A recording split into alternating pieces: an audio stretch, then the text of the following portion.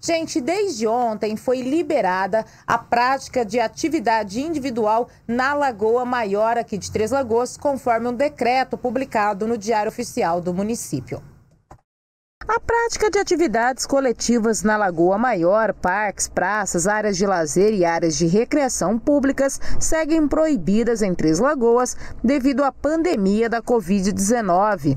As atividades individuais estão permitidas aqui na circular da Lagoa Maior apenas durante a semana, pois aos finais de semana seguem proibidas tanto atividades individuais quanto coletivas.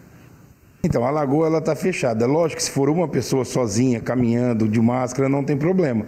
O que não pode ter na lagoa é as aglomerações. É aquelas rodas grandes de pessoas, 5, 6, 8 pessoas, fazendo exercícios tudo em conjunto, porque isso está proibido por decreto. Isso aí não pode. Nós vamos estar lá para poder olhar essa parte. Então, se a pessoa estiver andando de bicicleta ou fazendo a sua caminhada sozinha, duas pessoas, não tem problema? Não tem problema. O que não pode é ela aglomerar. Ela está em 4, 5, 6, 8 pessoas fazendo esporte coletivo principalmente, aí não pode. Nem estar tá sentado lá com família, tomando tereré, essas coisas todas sem máscara, então isso aí não pode. Ainda de acordo com o coordenador da Vigilância Sanitária, o trabalho de fiscalização tem sido intensificado na Lagoa ele prevalece, então nós vamos estar colocando algumas, algumas os fiscais na lagoa, né? para poder evitar essa aglomeração, para poder evitar que as pessoas têm muito costume de ir na lagoa e aglomerar e juntar, principalmente o uso do narguile, que já é proibido, né, em prática é proibido por lei hoje o uso do narguile em áreas comuns.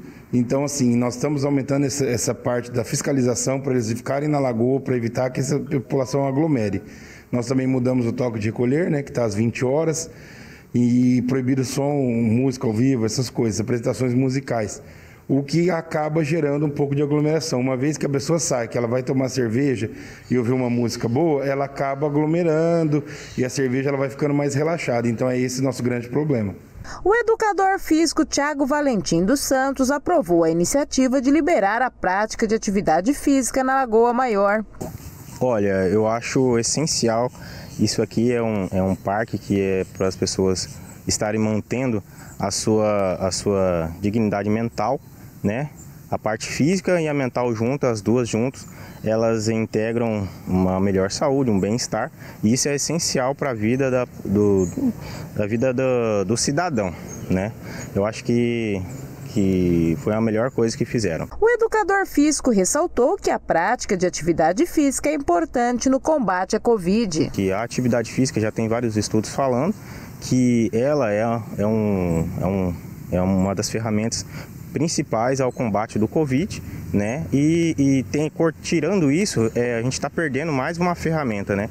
É, retornando, a gente está ganhando de novo, retornando uma, uma, uma, atividade e deixando aí a pessoa que está dentro de casa, está se preservando, ela vir ao ar livre, olhar a paisagem, é, se dedicar. É, abrir a mente e assim, juntamente, unir na atividade física. Então esses dois eu acho que é o essencial e foram a melhor coisa que fizeram. Tomando todas as medidas necessárias. Né? Isso, tomando todas as medidas necessárias. Igual a gente está treinando aqui, estamos de máscara, estamos sempre procurando unir o útil ao agradável.